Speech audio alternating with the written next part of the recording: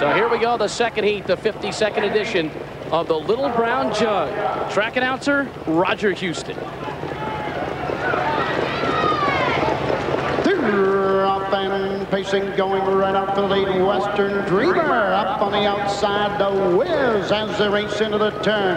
Down along the rail. Gothic Dream gets away third. Up on the outside. Dream away. Racing fourth is Off Stride. Down the backside they go. On top of the field, Western Dreamer and Mike Lachance.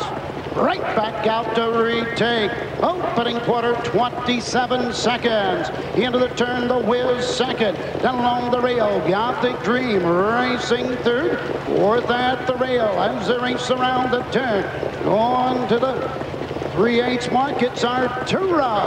Out and moving on the outside. Here comes Gothic Dream and Ron Pierce. Arturo second over with cover. Moving on the outside. Tony Morgan and Jeremy's Gambit. They're halfway home. 55 and 3. Onto the backside. Park Place up the inside. His Majesty down along the rail. Racing seventh. Training the field extreme away. Onto the backside in the 5-8 mark. Western Dreamer with the lead by a half. Moving up on the outside. Now second. Gothic Dream. Three wide down the backside. Arturo. Racing on the inside, the Whiz. Three quarters, 123 and three. Around the final turn. Western Dreamer, the leader. Arturo on the outside, the Whiz. Down along the rail. It's his race to win or lose. Western Dreamer. Mike Lachance, open up. The Little Brown Jug. The battle's on for second and third. It's going to be Western Dreamer. Mike Lachance winning the Little Brown Jug. World record. 151 and 1.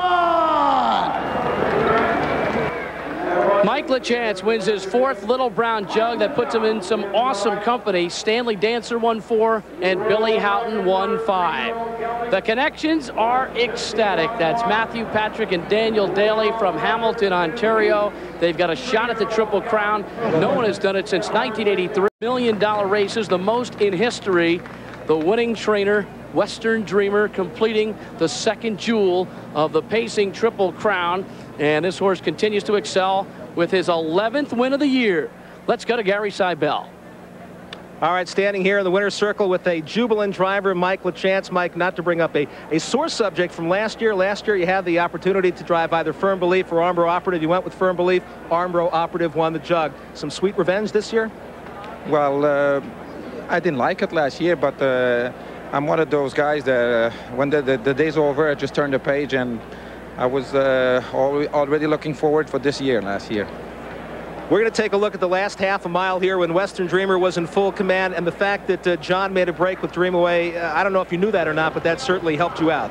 Well, I didn't know that, but my horse was he was so relaxed when I got to, back to the front. Uh, I just never see him like that. Uh, yeah, like uh, when I raced him at 3-0, two heats there, he was he was hot for the last heat, and he wasn't relaxed at all. Like today, today he was just nice and relaxed, and you know he was at his best. Now you have the North America Cup winner, Gothic Dream, on your flank on the outside. You're on the inside with the Western Dreamer. What are you thinking at this point? You know, Gothic Dream's a good colt. Yes, but I tell you the truth, I felt real good in the backstretch because I had a ton of horse, and. Uh, I didn't even ask ask him for anything yet, and uh, and I know when you tap him with the whip there, he, he responds, and uh, I give him a couple tap, and he just went on. Well, as you can see, you're turning for home now in the second heat of the Little Brown Jug. At this point, you're thinking there won't be a race off? No, no I knew I was going to win now. So you knew that this was it. You're opening up by daylight now. Mike, this was your fourth Little Brown Jug win. How does it feel? Well, it feels just as good as the first one there. The Little Brown Jug, it's such a special race there. Every every time you win it there, it's always like you're in heaven. And your thoughts on uh, winning the Triple Crown? Real quick. Well, uh, I don't know. I don't know. I, do, I have no opinion about that uh, right now. Okay, right now we're going to head back to Bruce Beck in the winner's circle. Western Dreamer wins the 1997 Little Brown Jug, the second jewel of Pacing's Triple Crown. And Gary Seibel is standing by in the winner's circle once again.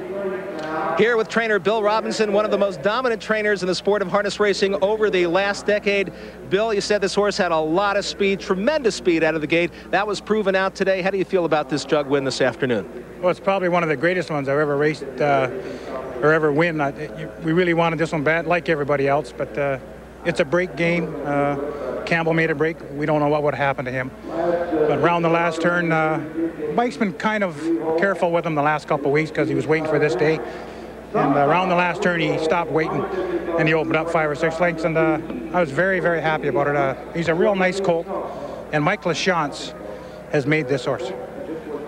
Were you worried at any point in the mile? Oh, I've been always worried. You're always worried when they go. Uh, I'm a money man. I like to win the money because my owners put it right back in, and and, uh, and it's uh, it's just a great feeling to win the jug and to open up like that around the last turn. And uh, it's probably one of the best races. I'll never forget this one. You made a comment at late last year that you thought this horse was an ordinary horse. He's not ordinary, is he? Well, I still thought he was ordinary going into this into this uh, race here, but uh, you know he's a gelding and he's we can't do anything with him but race him. So I can't say he's a superstar, but he, he really went a terrific mile today. I just want to point out the rest of the group here. We have the Dailies. How many Dailies we have? All three, Matthew, Patrick, and Dan. Congratulations. You guys had Stout last year. You said you had so much fun with that horse. You wanted another one. Bill got you one. You waited a while. He wanted you to be patient, and uh, you came up with the Western Dream. You guys have to feel really great about that. Oh, for sure. No, Bill, my father, just a before he passed away, and said, if you guys want to be in these big races and win one, you got to have Bill Robinson. So he took us and introduced us to Bill, and was, we've had some great, great experiences in this game. All right, congratulations to you guys, and good luck for that Triple Crown bid. I'm not jinxing you, but good luck, guys. All right, right now we're going to go back to Bruce Beck.